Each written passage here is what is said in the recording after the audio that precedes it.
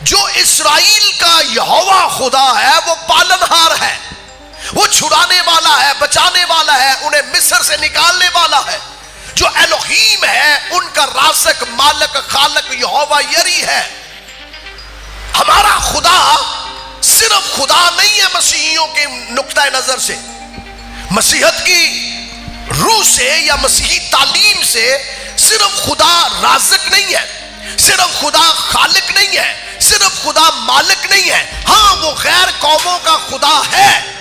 وہ رازق ہے ان کا، وہ مالک ہے ان کا، خالق ہے، پروردگار ہے۔ لیکن مسیحیوں کا رازق مالک کے ساتھ کوئی اور اس کی وقت اور حسیت ہے۔ اور اس کی حسیت یہ ہے کہ جب ہم یسو مسیح کو قبول کر لیتے ہیں، تو وہ مسیح کے وسیلہ سے ہمارا باپ بن جاتا ہے۔ مسیحیوں کا خدا خدا نہیں، بلکہ کیا ہے؟ خدا باپ ہے اور میرا اور آپ کا ریلیشن شپ جو ہے، وہ خدا کے ساتھ کیسا ہے؟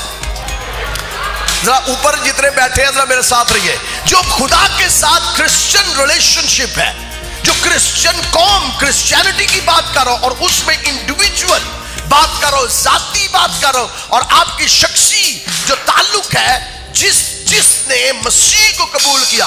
بس جتنوں نے اسے قبول کیا اس نے انہیں خدا کے فرزند بننے کا تو اب ہم اگر حقوق کو استعمال نہیں کرتے، اگر ہم حق کو استعمال ہی نہیں کرتے اور کیا کرتے ہیں؟ یہوہ خدا پاک خدا ترا شکر کرتے ہیں، رب العالمین خدا ترا شکر کرتے ہیں۔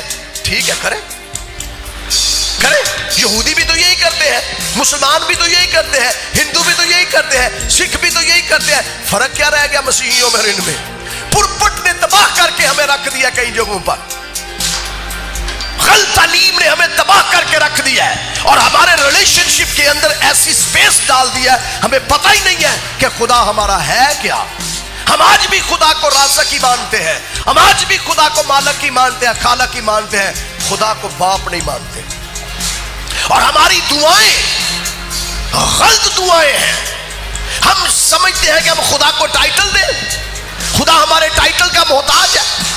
کئی لوگوں کو مائک دے دیا جائے، سامنے دعا کرنے کے لیے کہہ دیا جائے۔ وہ خدا کی ایسی گردان شروع کرتے ہیں کہ باپ کے تصور کو ہی مسخ کر کے ایک طرف کر دیتے ہیں۔ یسو مسیح نے پی ایچ ڈی لوگوں کے لیے اور ان پڑھ لوگوں کے لیے ایک فارمولا دیا، کیونکہ پی ایچ ڈی بھی جانتے ہیں کہ وہ کسی باپ کی اولاد ہے اور ان پڑھ بھی جانتے ہیں وہ کسی باپ کی اولاد ہے تو فارمولا ہے کہ دیا جب تم دعا کرو تو کیا کہو؟ یہ کسی ان پڑھ کو پتا جی باپ کیا ہوتا ہے، کسی پی ایچ ڈی کو پڑھے لکھے کو پتا ہے باپ کیا ہوتا ہے۔ اب اس کے ساتھ اپنی گردانے ہم کریں تو کرتے پھر اور باپ کو سینٹر سے نکال دیں۔ تو یسو مسیح نے کہا کہ تمہارا حق ہے کہ تم خدا کو کیا کہو؟ تو ہماری دعائیں جب شروع ہوں، یہ پوری دنیا کے اندر، بلکہ بلکہ پاکستان پھیل رہی ہے۔ جب تم دعا کرو تو خدا کو باپ کہو۔ ہم باپ کے ساتھ جو مرضی کہنا شروع کر دو۔ یہ آپ کا پرسنل ریلیشن ہے اس کے ساتھ۔ جب آپ باپ باپ جو ہے وہ بنیادی ریلیشن ہے ہمارا۔ اب باپ کی تعریفیں آپ کیسے کرتے ہیں؟ یہ آپ کی مرضی ہے، لیکن تصور آپ کا صرف باپ کا ہونا چاہیے۔ جو مسیحی ہے جو یسو کے خون سے دھلے ہیں، میں ان کی بات کرو جب تم دعا کرو تو کیا کہو؟ اے ہمارے باپ یا اے باپ، تو خداوند یسو مسیح نے بہت سادہ کہا، اس نے کہا، جب تم دعا کرو تو کہو، اے باپ۔